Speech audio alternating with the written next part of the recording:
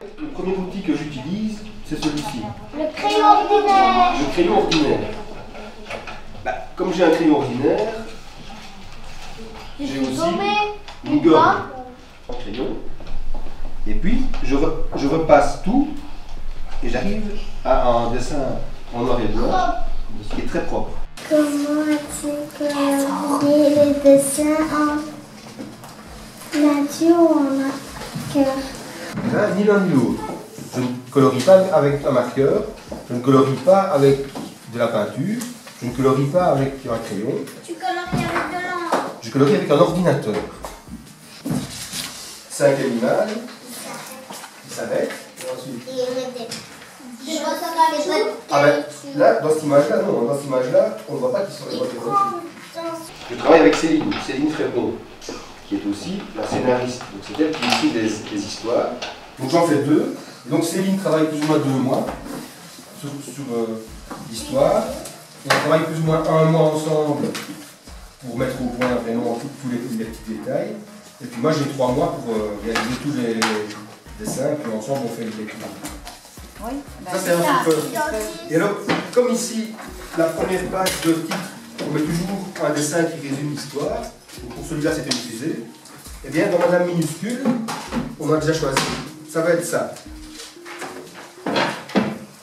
Les bigoudis et les spaghettis. Nous sommes deux. Il y a des différences. Oui, oui, la taille. Et Une différence de taille. La forme est plus petite. Oui, et la forme, c'est la taille. c'est quoi la forme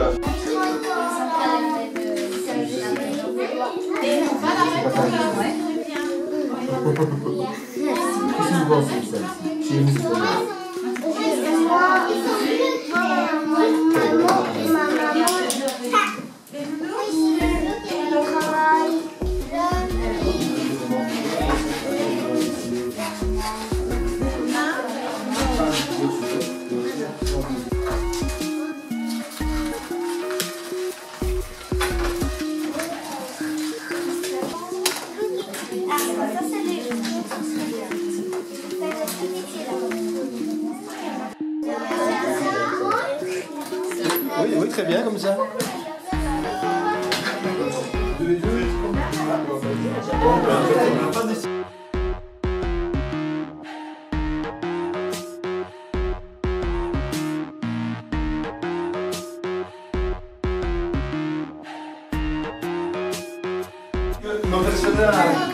et prennent forme.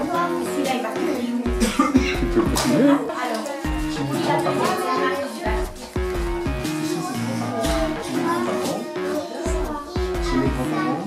C'est grande famille avec cinq enfants.